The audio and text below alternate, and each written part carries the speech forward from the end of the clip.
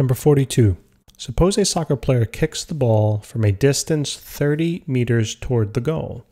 Find the initial speed of the ball if it just passes over the goal 2.4 meters above the ground, given the initial direction to be 40 degrees above the horizontal. So what I have here is I have a picture drawn, and this line right here represents the goal, and the height of the goal is 2.4 meters. That goal is 30 meters away from where the ball is being initially kicked. And the problem also tells me that, that this ball here is being kicked with some initial velocity, that is what we're looking for, at an angle of 40 degrees above the horizontal. Okay, so that's all that I'm given, and I'm looking to solve for the initial velocity. Now, there's not much information given here, so Generally speaking, when there's not a lot of information given about either frame, what you want to start doing is start just creating some formulas. We're probably going to have to start substituting, and um, we're probably going to be looking to connect the two frames via time. All right, so let's take a look at what we got. So first, let's look at the x and y components of the initial velocity. So here's the initial x component, right? I just drew in yellow here. And then the initial uh, velocity component in the y direction would look something like this, straight on up. Right? So this in black would be the initial velocity in the y. Okay, and then in gold, this part right here was the initial velocity in the x. So let's just try to create some formulas for those two to start. All right. So um, let's first do the initial velocity in the x. Remember, this is just a triangle. I, I, need to incorporate the hypotenuse. Even though I don't know the value, I want to incorporate into my formula because I need to solve for it. So I have to put it in a formula somehow. I know this angle and I'm looking for the side adjacent to that angle. Therefore, I'm going to be looking at cosine. So we have cosine of theta is equal to the adjacent side over the hypotenuse. Cosine of 40 will be equal to the initial velocity in the x direction uh, divided by the hypotenuse, which is just the uh, initial velocity. So now solving for the initial velocity in the x direction, that would give me simply the initial velocity multiplied by cosine of 40. Okay, now let's do the same thing for the y. Initial velocity in the y, this time we would use sine. So we have sine of theta is equal to the opposite side of the hypotenuse. Sine of 40 is going to be equal to the initial velocity in the y direction. It's positive because it's pointing up. x was also positive too because it was pointing to the right divided by the hypotenuse value of the initial velocity. Now the initial velocity in the y direction will equal the initial uh, velocity. That's the resultant vector multiplied by sine of 40. Okay, so we got these two equations. Now, uh, we can't solve for anything yet. We're just setting up some equations, all right? So let me put some boxes around these guys. All right, now, so I incorporated my initial velocity here into some formulas. Okay, now what I want to look to start doing is I need to now start incorporating the distances that I'm given into some formulas. So let's focus on the x uh, distance or the x displacement first. All right. So let's think about the x frame. Now, are there any accelerations in the problem in the x frame? Uh, no, right? It's a free fall problem. There are no accelerations in the x frame. Therefore, we know that the um, that the velocity in that x frame will be constant the whole time.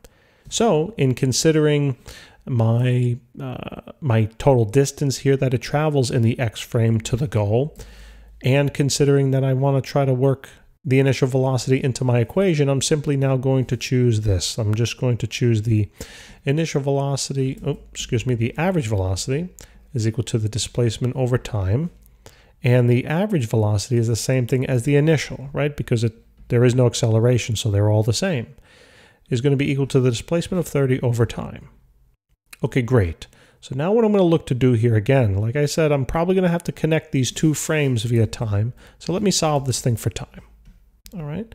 So we're going to have 30 then over VIX. All right. And let me now do a quick substitution. So I know that VIX is equal to this thing. So let me substitute this on into my equation here. Again, why am I doing this? I'm doing this because I need to solve for the initial velocity. And so I need to have that in my equations all the time. And I'm solving now my additional equations here for time because I know I could probably take this and substitute it into some time value in the y frame because they're both the same. Time knows no frame. So here we have now initial velocity is equal to cosine of 40. Okay, so we got that. Now let's take a look at the y frame. So y, we know that we have um, a displacement there in the y direction of 2.4, right? So maybe I'll just write some knowns down over here on the side. So we know that the change in y is a positive 2.4, right from the initial point to my final point here. Um, I also know that there is an acceleration in the y direction, negative 9.80, 80 meters per second. I also know that the final velocity here um, will be some value in the y frame. I don't know what it is. The initial velocity, right in the y frame, we do know what it is. We, well, not in terms of number, but in terms of a formula, we do know that is it is equal to the initial velocity multiplied by the sine of 40. Okay, and what else here? We don't know what time is, right? So what I need to do is I need to now create an equation that involves the given displacement and time. Why? Because I need to incorporate as much information as I can that's given to me in the problem, and I want to start substituting time across these two equations. All right. Additionally, I also want to pick out a formula that involves the initial velocity in the y frame because I need to get this also into an equation. So thinking creatively here, I'm going to choose equation number two. So equation number two tells me that the change in the y direction um, will be equal to the initial velocity in the y multiplied by time plus 1 half times the acceleration in the y direction times time squared. So the change in y was 2.4. The initial velocity in the y direction we said was simply the initial velocity resultant vector multiplied by the sine of 40. That's multiplied by time. And now that's plus 1 half times the acceleration due to gravity, which is negative 9.80, times time squared, right? So let's just clean this up slightly. Won't do too much, but it's going to be 2.4 is equal to the initial velocity times the sine of 40. Now times time plus then, really it's going to be minus, right? Minus uh, 4.90 t squared. Now what I can do is I can now take this time value that I found before and plug it in for time in my equation here and here. Remember, these times are the same. Why? Because when you go back to the picture, I described the x frame from the initial point here to the final point here, and I'm describing the y frame from the initial point here to the final point here. So since they're both in the same time frame, obviously time should be the same. So now let's substitute it in and let's clean it up. So we got 2.4 is equal to the initial velocity times the sine of 40 multiplied by the time value. Now the time is going to be 30 over initial velocity times cosine of 40 minus 4.90 times time squared, which is 30 over now initial velocity times cosine of 40, all squared. Okay, so let's start doing some math here. What I'm gonna, what I realize here is I can cancel these two initial velocities, they go away. And I also realize that I have sine of 40 divided by cosine of 40. Now you have to remember this little known that the tangent of theta is equal to the sine of theta over the cosine of theta. All right, so I'm going to convert that into now tangent. So let me write it over here now. So we have 2.4 is equal to 30 times the tangent of theta minus now, so let's start working this together. Let's now distribute the square basically to everybody, okay? So now it's going to be minus 4.90 times 30 squared over the initial velocity squared times the cosine squared of 40. Okay, so now let's, uh, why don't we, well, what can we do here? Now I did, well, I just realized I put tan of theta here, but we do know what the angle is, right? The angle is 40. So let me go back. Let me just erase this right here. All right, so this should be tangent of 40 degrees because we know that. So I really like the way this equation looks right now. Why? Because guess what? I have only one unknown. Isn't that wonderful?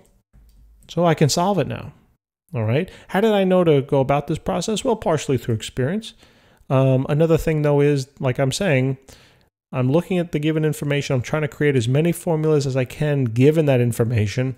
And I know most likely I'm going to have to connect the two frames because I don't have a lot of information.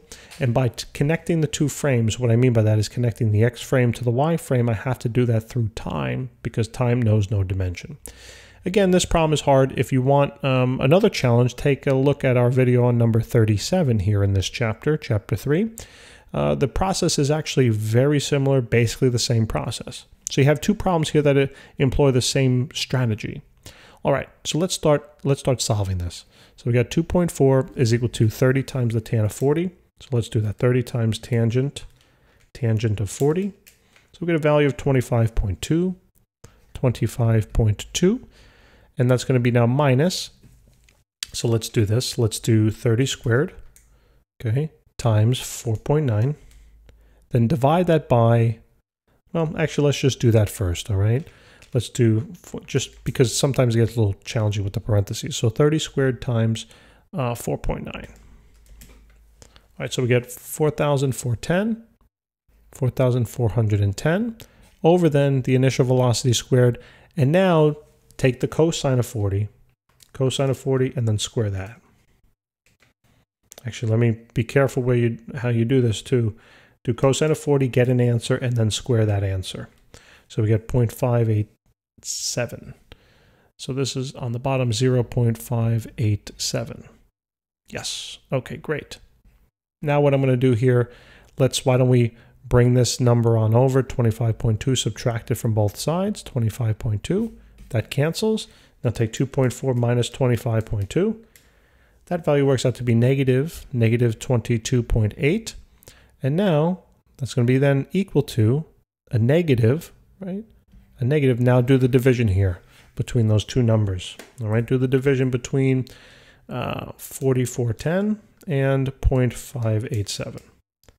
So now we come up with a value of negative uh, 75, 75, 10, because I have to round, and then divide it by vi squared. Now, how do I solve this? Well, simply just switch the numerator and the denominator here, and you'll get a nice little setup. So we got the initial velocity squared should be equal to negative 700 and, uh, excuse me, 7,510 divided by negative 22.8. And now the initial velocity squared will be equal to, so 7510 divided by 22.8. So we get a value of 329. And we're almost there, guys. Square root it, square root it. And now the initial velocity value will be equal to second square root of 329, 18.1. Wow, 18.1 meters per second. That is the answer. Okay, that will be, and it says find the initial speed. So there we go. So the initial velocity right here is going to be equal to 18.1 meters per second. All right, now this is the way to do it. There's another formula. Let me see if I can recall it. Um, I think it looks it looks something. It's like change in y is equal to change in x times what is it? Tangent.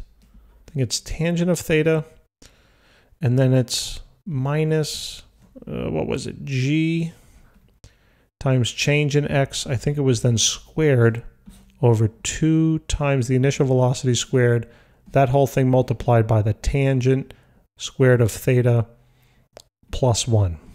Okay, so for example, in this equation, I think this works. I'm pretty sure this is it I, if I'm if I'm remembering it correctly. Uh, just check me, you can plug in the numbers. This value would have been 2.4. This value would have been 30. Okay, the angle here was uh, 40. The G is obviously 9.80. The X again here was 30. Uh, the initial velocity is what we're trying to solve for. And again, here's the variable of 40, right, that angle. Now, uh, the change in X represents this uh, displacement, and the change in Y represents the vertical displacement. So that formula should work, all right? That's a shortcut. But you should be able to know how to do the substitutions and whatnot also because sometimes you might not have a nice formula to use, and you might have to you gotta you gotta learn how to do all the substitutions. So, any case, guys, listen. Thanks for checking it out. Hope this helped. Please remember to subscribe, and I will see you next time.